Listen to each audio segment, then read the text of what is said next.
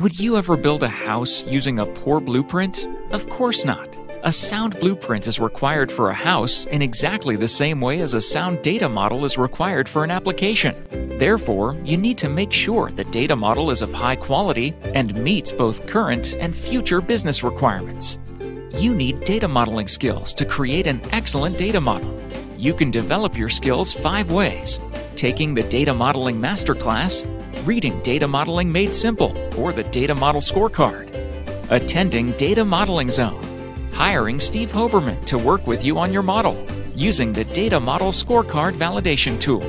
The Data Model Scorecard Validation Tool is a free tool which automates over 150 checks that Steve Hoberman applies when he reviews data models. It is a great way to obtain a higher quality data model and in the process, fine tune your data modeling skills.